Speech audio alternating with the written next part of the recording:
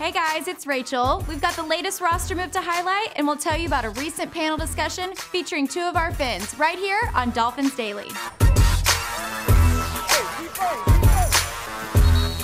The Miami Dolphins have added another player to the roster with yesterday's announcement of signing quarterback David Fales. Prior to the Dolphins, he spent his three year career with the Chicago Bears from 2014 to 2016, as well as the Baltimore Ravens during the 16 season.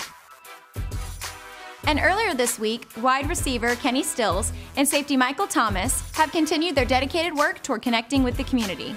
Both players attended a town hall meeting at Nova Southeastern University organized by the Jason Taylor Foundation and RISE, where they used the time to speak with and hear from students who shared their personal experiences. Stills and Thomas are excited to remain active in the community with positive hope for future generations. Before I go, fans, let's give Dolphins linebacker Neville Hewitt a big happy birthday shout out from all of us. We hope you enjoy the day. Well, that's all I have for you guys. We'll see you back here tomorrow for more news and access right here on Dolphins Daily.